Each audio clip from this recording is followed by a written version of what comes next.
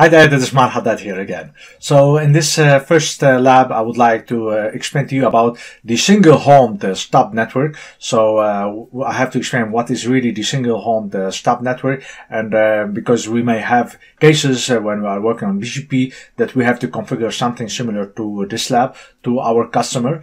So this is something I'm going to show it to you in this lab. As you can see here, we have a lab of 11 points. Before I start doing those points, let's go to the lab scenario to show you what is our scenario, then I will come back to the points and start doing that. So this is my lab scenario. Actually, the single home the network, I have already explained it to you in the previous uh, course.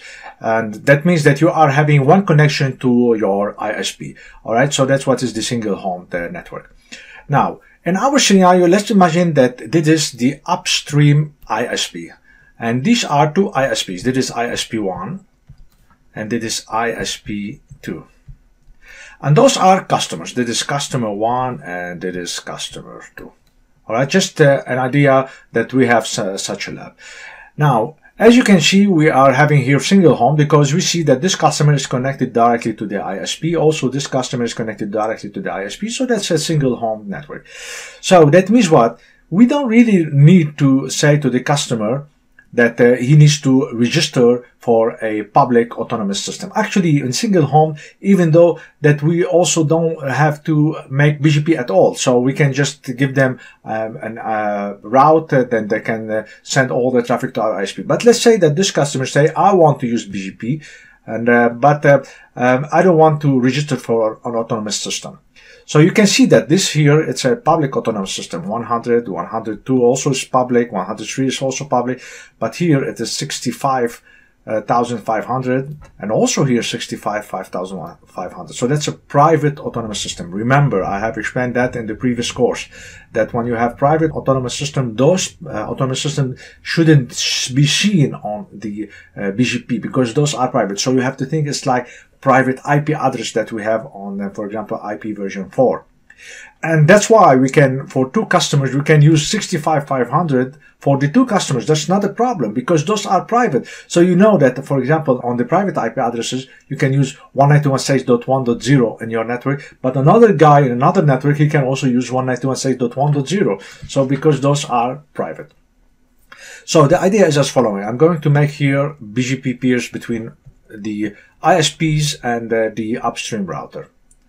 And then those networks, I need to advertise them. So those we have to think, we have here public IP addresses of those networks. There needs to be, uh, or prefixes needs to be advertised in, into BGP. Then I'm gonna do here also between ISP1 and this customer, I have to do also BGP peer and as well here. And then I have to advertise this and this network to BGP. So by the, at the end, router one on his routing table should see one two, three, four entries. So he has to see all those. But then we will see that router 1 will see that this entry and this entry are coming from 65500 autonomous system, which is a private autonomous system. That's something we really don't have to do that because otherwise we will cause loop and we will have problem. So we have to see how we can allow our customer use a private autonomous system so they don't need to register to a public one. But how can we from here, from the ISP router, not allow this private autonomous system and this one to be advertised or to be seen on router one. All right. So that's something we have to see that. And then at the end, we have to see if router one can uh, reach all those prefixes. And as well, remember that router one is the ISP, so he has internet. So we have to see if those all routers will be able to go to the internet. All right, so this is uh, the mission what we are going to do in this lab. So this is a lab for the single home stub network. So uh, it's uh, somehow it's not very complicated, but I would like to ask you to give attention because it's uh, uh, we have here five routers and uh, we have a lot of things to do.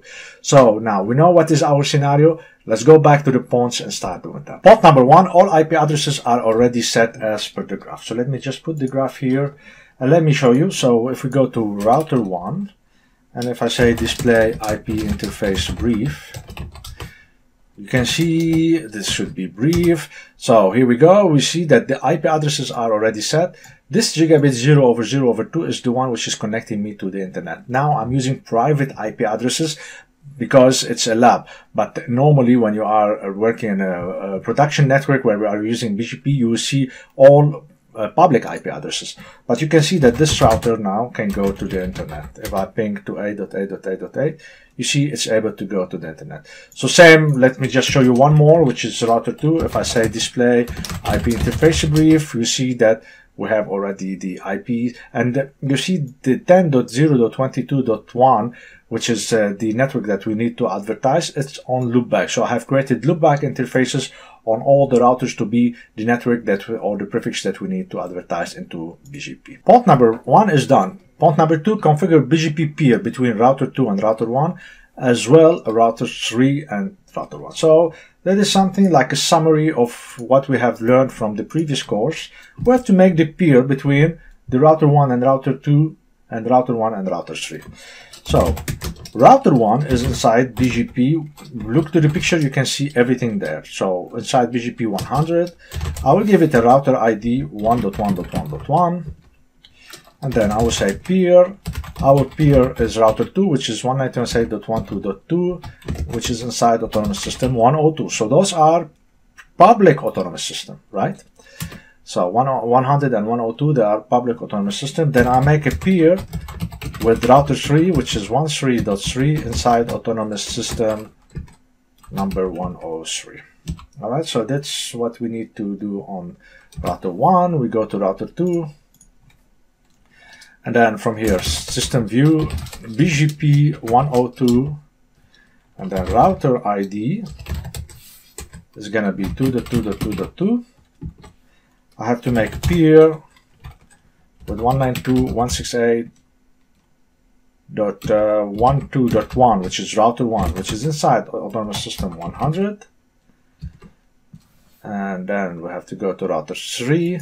Also, we have to make peer with router 1 we say BGP 103, that's the autonomous system, router ID 3.3.3.3, and then peer 192.168.13.1, which is inside autonomous system 100. So in a moment we should have neighborship. If you want, we can go from router 1 and say display BGP peer. We can see that a neighborship has formed already. That's with router 2.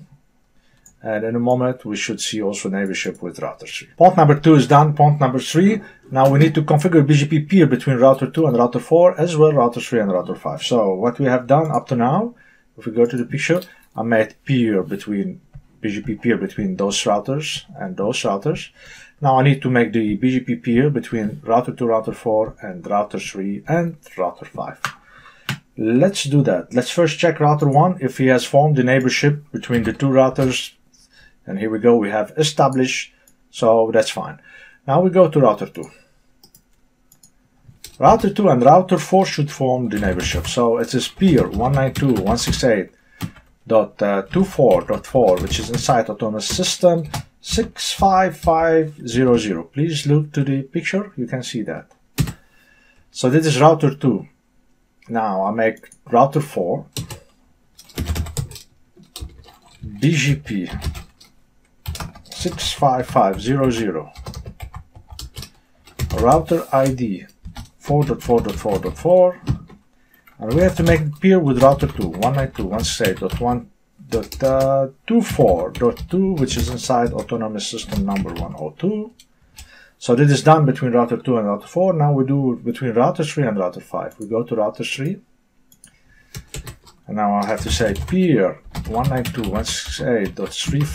192.168.35.5 inside autonomous system 65500. So you say now, how come we are using for two customers, we are using the same autonomous system, which is 655 zero zero because that's a private autonomous system. That's not a problem. Even if it's a, another customer, you can still use the same autonomous system. While if it was public, you are not uh, allowed to do that. So uh, you should use the public autonomous system that you have uh, assigned from your authority.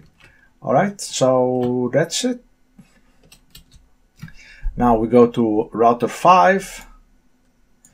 And now we have to do from here we create the BGP instance. So BGP 65500 router ID 5.5.5.5 now we do peer 192.168.35.3 please look to the picture so you can know the IPs and now the autonomous system for router 3 which is for the peer it is 103 very good. So now let's have a look if the BGP has been formed so we see that on router 2 it should have a peer with router 1 and router 4 so let's do that.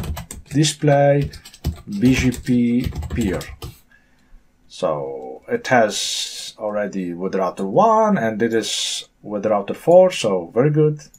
Now router 3 also should have with router 1 and router 5.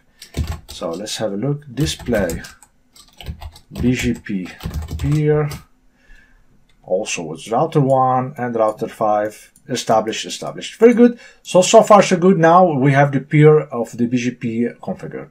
Point number three is done. Point number four. Advertise the local networks into bgp of router 2 router 3 router 4 and router 5 what does it mean here if we go back to the picture remember we have those networks this one this one this one and this one we need to advertise them inside BGP and now we need to check at the end whether router 1 can see all of them.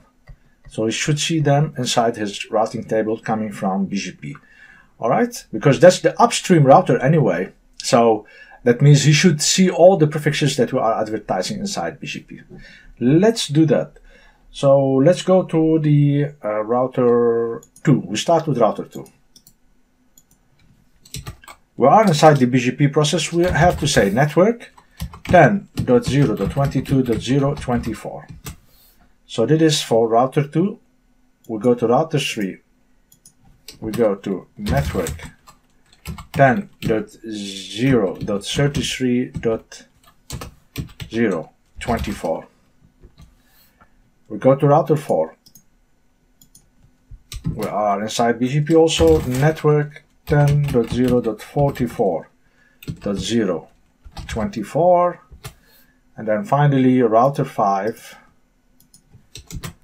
network 10.0.44 should be dot 55 here 55.0.24 all right so we have advertised the uh, the prefixes let's see if the upstream router can see all those prefixes let's have a look so we have to say here display BGP routing table and yes, you can see this is from router 2, this is from router 3, this is from router 4, this is from router 5. Very good. So you can see them. But look, we have a small problem actually. I don't think it's a small problem. It's a big problem.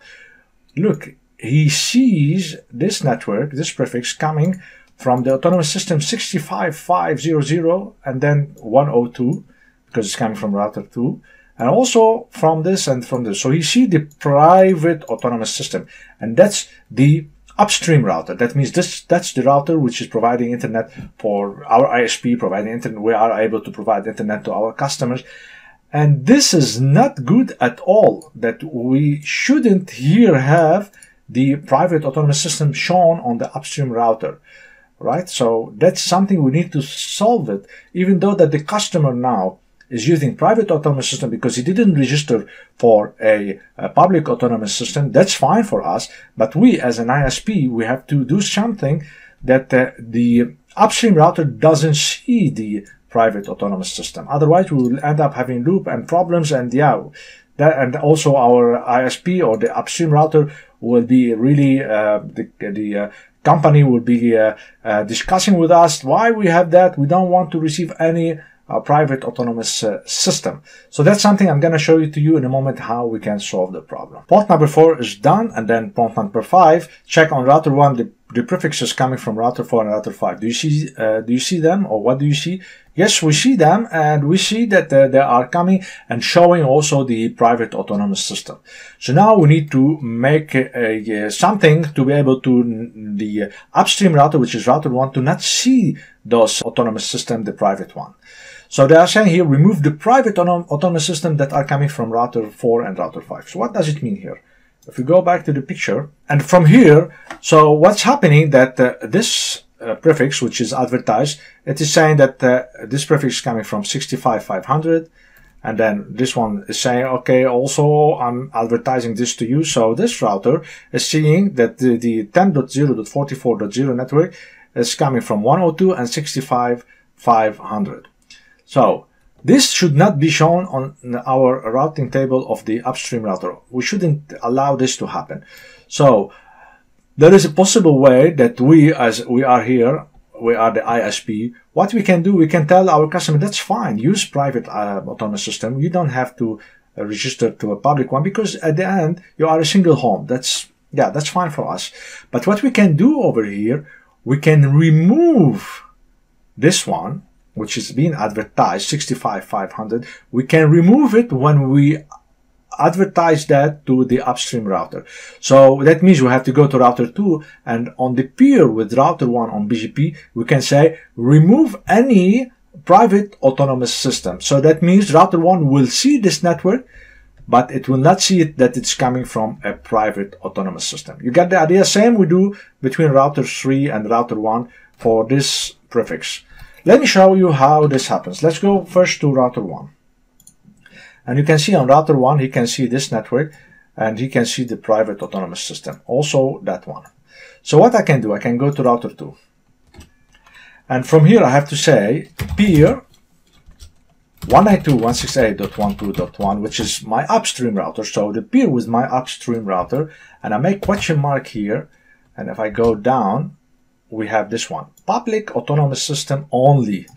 Remove private autonomous system number from outbound updates. So when we are updating, saying to router one, which is the upstream, that there is this network on BGP, we don't uh, update also the private autonomous system. We don't send it with the private autonomous system. So all I need to do here, I have to say public autonomous system only. All right. So now if, we go back to router one, this should still be shown over there. So uh, normally you can wait until this is finished or if you want to go fast, what I can advise you to do on router 2, you say reset BGP all. So I'm just resetting the BGP process.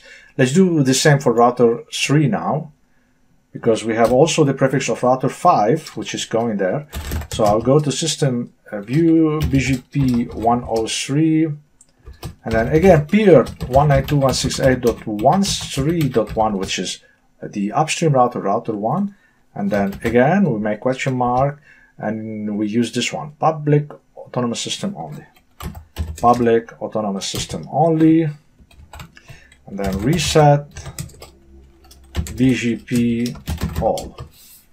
All right, very good. So that's what makes for us that we will show now that this prefix is coming from us as an ISP. So we will see that the prefix of the um, uh, router 4 will be showing it's coming from 102, which is from router 2. And the prefix from router 5 will be showing that it's coming from uh, routers 3, which have the autonomous system 103, which is the public autonomous system. Point number 6 is done. Now, um, before I continue the other points, which we have until uh, from 7 until 11, let's uh, first check uh, if uh, the uh, autonomous system has been removed, the private one, and then the points from 7 to 11, I will do them in another video, which is the upcoming video, just to not have the lab very long. So let's first go to router 1 and see if we can see now the prefixes. So let's check. Here we go. You see, it's beautiful. Now 10.0.44.0, yeah, which is on router 4, it's saying that it's coming from 102, which is from router 2. It doesn't show anymore the private autonomous system. Same 10.0.55.0 from 103, which is router 3 autonomous system. The public autonomous system. It doesn't show anymore the private autonomous system. All right, so for now, I will stop the lab uh, up to now to here. So we have uh, uh, solved the problem of the private autonomous system, and this is how you can do it in case uh, you have something similar uh, um, in your uh, network. If you work on ISP and you have something similar to that, that's how you can do it. So I will stop the lab now, and I will continue the, the lab in the upcoming lecture. So see you in the upcoming lecture.